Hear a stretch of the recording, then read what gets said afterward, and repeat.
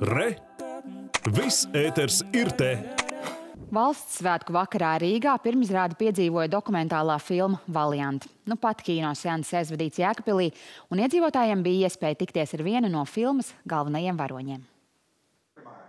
20. gadsimta 80. gadi Eiropa, Ziemeļamerika un tur dzīvojošie latviešu jaunieši, kuri ar skaļām un pārdrošām demonstrācijām piesaista preses uzmanību, lai pasaule zinātu par Baltijas valstu okupāciju.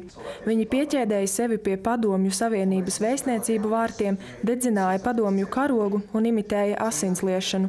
Tā ir tikai daļa no piedzīvotā, kas ietverta dokumentālajā filmā Valiant. Es domāju, ka tas būtu ideāls mācību materiāls skolēniem jo ļoti labi parādīja tā laika situāciju. Vai tu būtu gatavs šobrīd eh, arī tādā pašā vecumā esot iet, piemēram, tādās demonstrācijās par Latviju? Es domāju, ka nē. Man, es neesmu tik bezbailīga. Šo cilvēku neatlaidība, viņu izdoma, viņu pārliecība par to, ko viņi dara. Mums jau likās, mēs to brīvību izcīnījām. Te Latvijā, nu jā, te tas notika. Bet uh, tas nebūtu nemaz tā noticis iespējams, ja nebūtu šie mūsu tautieši par brīvību nemitīgi cīnījušies arī savās mītnes zemēs. Filmas galvenais varonis gan esot automašīna, Jūra Bļodnieka tā laika valiants, kurš 25 gadus nostāvējis garāžā un ir aprakstīts ar pretpadomju saukļiem.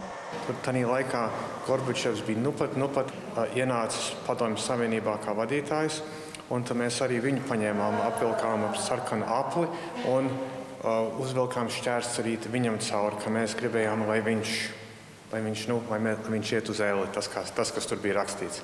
Un aizmugurē mums bija uzrakstīts Russia, get out of Estonia, Latvija, Lithuania, respektīvi Krievija, Krievija kā valsts ārā no Igaunijas, Latvijas, Lietuvas, un citur, citi saukļi arī tur bija uz, uz, uzlikti virsū. Uz jautājumu, vai tiešām nebija brīžu, kad rokas nolaidās un tas, ko darījāt, šķita bezvērtīgs, atbilde ir pārliecinoša. Tas man īstenībā nezūd nevienu nevien reizīti, vai ne? Mēs esam tikai daži, kas tajā filmā uh, parādās. Bija ļoti daudz citi, uh, kas lielākā vai mazākā mērā rakstot vēstules saviem likumdevējiem, uh, prasot palīdzību.